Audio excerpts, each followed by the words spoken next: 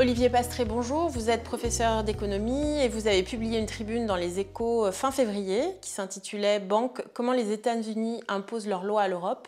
Est-ce que vous pouvez nous exposer les grandes lignes de ce papier? Euh, Je ne vais, pas exposer les grandes lignes de ce papier. Euh, je, vais vous répondre directement.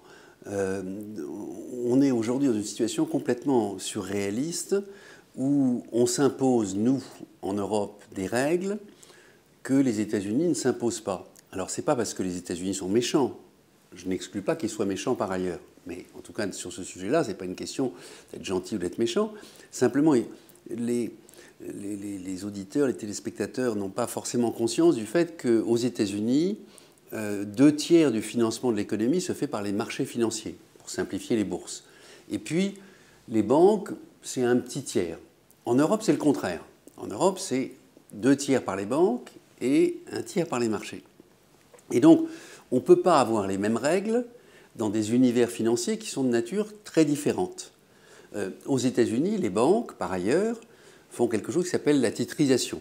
C'est-à-dire qu'elles font crédit pour acheter une maison, et puis quand elles ont 100 crédits d'achat d'une maison, elles les mettent dans un produit financier qu'elles vendent à des compagnies d'assurance ou à des fonds de pension. Et donc elles ne l'ont plus dans leur bilan.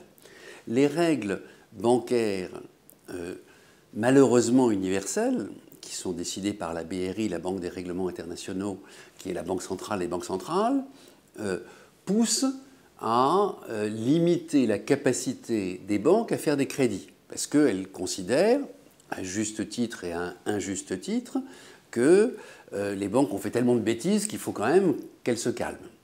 La règle, elle est très bien, sauf qu'elle s'applique aux banques européennes qui ne peuvent plus faire de crédit et pas aux banques américaines qui font peu de crédit et quand elles en font, elles les transfèrent à d'autres.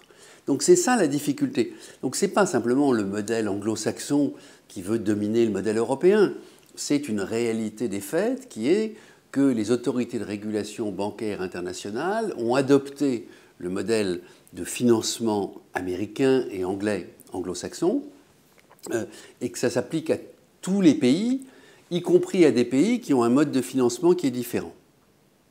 Est-ce qu'il n'y a pas un problème de concurrence entre les États-Unis et l'Europe? Euh, Ne défendent-ils pas mieux, euh, du coup, leur industrie financière? Oui, bien sûr. Il y a un problème de départ que j'ai évoqué de structure de financement, et après, il se trouve que les Américains ont un avantage comparatif pour deux raisons. La première, c'est qu'ils négocient d'une seule voix, quand ils négocient avec les pays européens, ils représentent l'ensemble de leur industrie bancaire, alors que chaque pays européen a sa propre voix. Donc il n'y a pas États-Unis contre Europe, il y a États-Unis contre euh, Angleterre, non Angleterre encore, mais France, Allemagne, Espagne, Italie.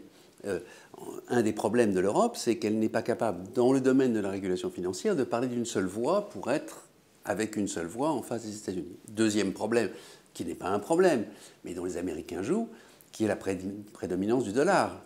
Euh, il est clair que la majorité des transactions internationales se font en dollars et qu'à partir de là, euh, les Américains peuvent fermer ou ouvrir le robinet. On l'a vu au moment des difficultés sur le plan pétrolier, euh, ont la capacité de fermer ou d'ouvrir le robinet.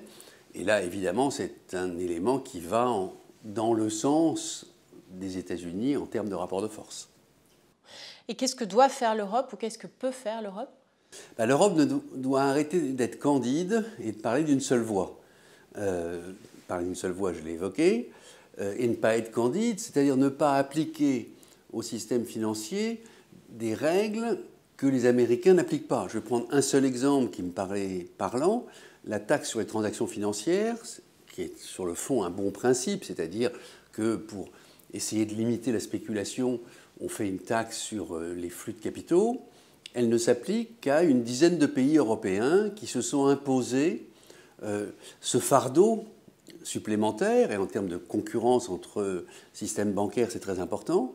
Euh, L'Europe ne doit pas essayer à tout prix de laver plus blanc que blanc. je ne dis pas qu'il faut laver noir, ou ne pas laver, mais encore une fois, on est dans une compétition financière internationale, et l'Europe ne doit pas euh, mettre des charges supplémentaires sur les banques, sachant qu'encore une fois, je reviens au début de mon propos, euh, les banques sont essentielles au financement de l'Europe. alors qu'elles ne sont pas essentielles au financement des États-Unis.